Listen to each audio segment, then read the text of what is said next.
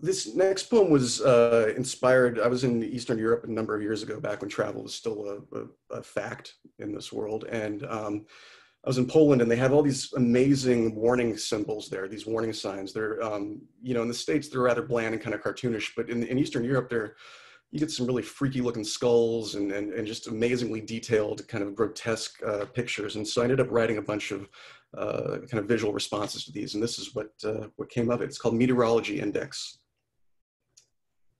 Between absinthe and Corinthians, between linoleum and Lamanites, ghosts. What else? Ghosts and more ghosts. Ghosts who haunt the salt shaker and sugar bowl, who howl like pesos as you pass. Ghosts who speak of skulls in careful English, who smoke cigarettes indoors, whose heads are titled by a toxic lack of locks. Ghosts who write love letters to ghosts, who linger light as book pressed butterflies upon the lips of the living, who taste of lie and lollipop alike, who stand, who always stand behind you like a lightning crippled tree.